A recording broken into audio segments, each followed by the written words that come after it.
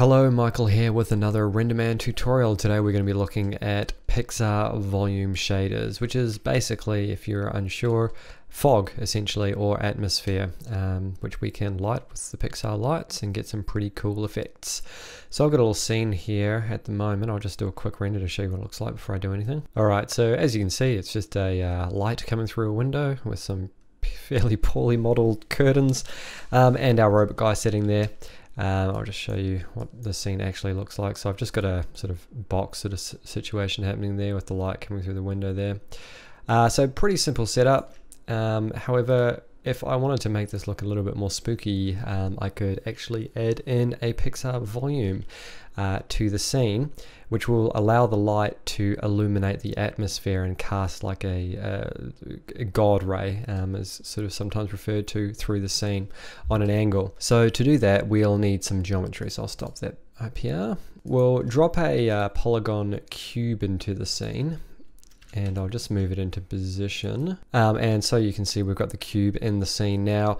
However, obviously this is not great to work with because you can't actually see anything. So a good way to get around this is if you select your cube, uh, you go to pCube, the, the tab most on the left there in the attribute editor, go under display, uh, scroll down to drawing overrides, enable overrides and disable shading and then that way you'll just be able to see right through it. So that can be handy, especially for this sort of thing. Alternatively, you could add it to a channel um, and just change it to T like I have here with the background um, but now that's set for set to reference so I can't uh, select it. So we've got our cube here in the scene um, but at the moment it's just a standard polygon with a blend applied to it. We want to apply a pixar volume shader. Um, and the way that you would probably think that you do this is by going up here and clicking create pixar volume.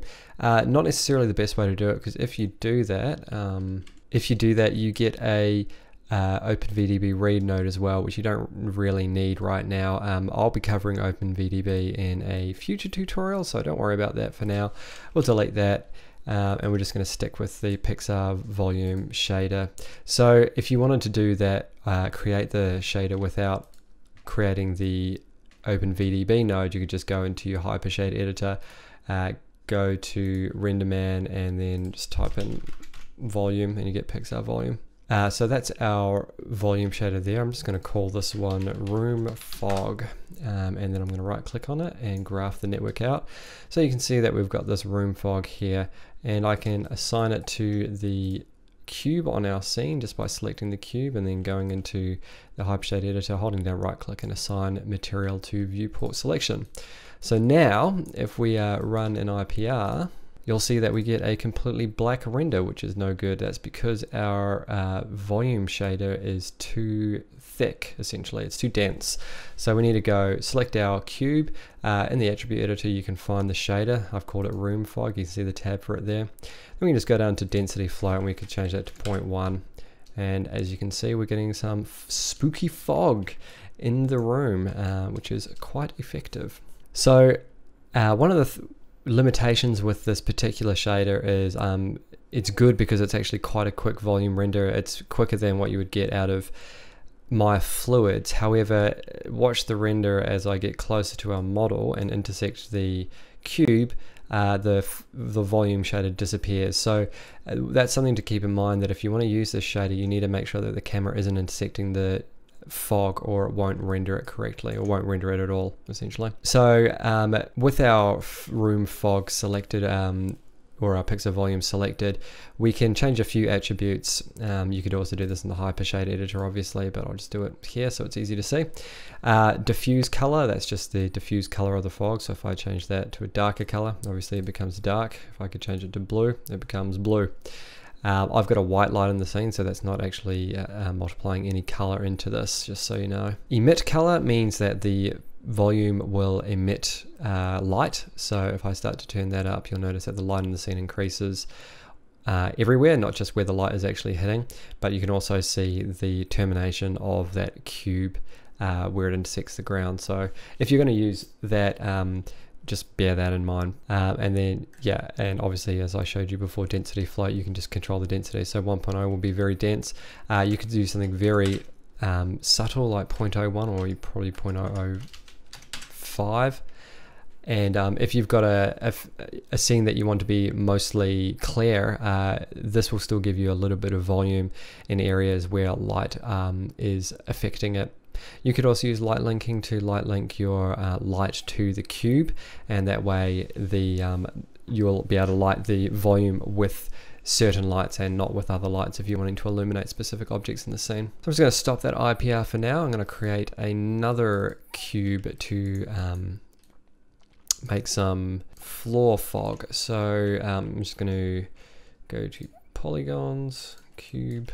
So just the same method as before. I'll just quickly speed this up. Okay, so with this one, I'm going to use the Hypershade editor to create that volume. So um, I'm just going to clear that and select volume. So we've got Pixar volume.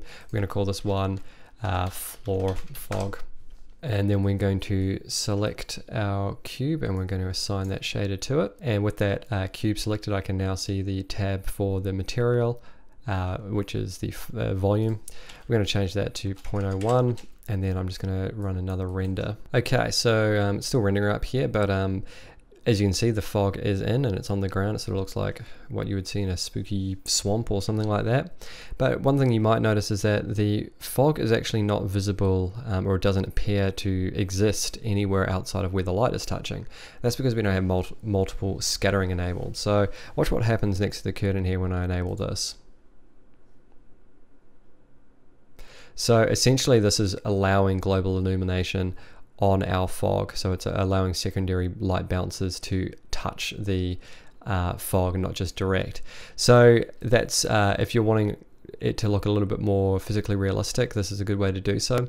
However, if you're lo just looking to light up um, God rays coming through a window like I had um, initially, then you probably want to not have that enabled if you're just looking to uh, have atmosphere in very specific areas where the light is touching it. Uh, but that is actually worth knowing about. Um, floor fog is actually a really good um, way to show off uh, emit color as well. So if I start to increase that, um, you will see that the floor does appear to look more like it's more dense. However it's still quite transparent at the same time. So uh, if you're looking to do this sort of effect this can be an effective way to do it uh, and also one other thing that I should mention while I'm getting at this is that you can't do things like gradients of volume so you can't have it sort of slowly taper away towards the top with this sort of effect for that you'd want to use Maya fluids and I have a previous tutorial on my channel on how to do that with atmos uh, called atmospheric lighting um, but I might re-update that for 21 um, at some stage. Um, and there's a couple more features below here, um, the anisotropy and uh, primary and secondary and uh, low blend factor. I'm going to get into that um, when I do the OpenVD, OpenVDB tutorial. I think it's a little bit easier to explain it there than with just a, a static fog volume or static volume. Um, but I think this pretty much covers what most people will be using it for anyway, which is to apply sort of atmosphere to their scenes. Um, so really, that is pretty much all there is to it. Um, you just create your create uh, your geometry and apply the shader to it, and then you can just go in and change your emit color and change your density float, and that's pretty much it. Um, so hopefully this tutorial uh, worked well for you. If you've got any questions, just leave a question below and I will get back to you. Um, otherwise, if you've got any requests for tutorials, let me know also in the comments. And if you haven't already, make sure you click the like button. It will help other people find this video. Uh, if you aren't already, make sure you are subscribed as I'm putting out a couple of tutorials a week on my channel for all sorts of things CG related, like RenderMan, for example. Um, and also you can follow Small Robot Studio on Facebook if you want to keep up to date with when tutorials are posted or just want to get in the discussion there. That's a good place for it. That's it for now though. Thank you very much for watching and happy rendering.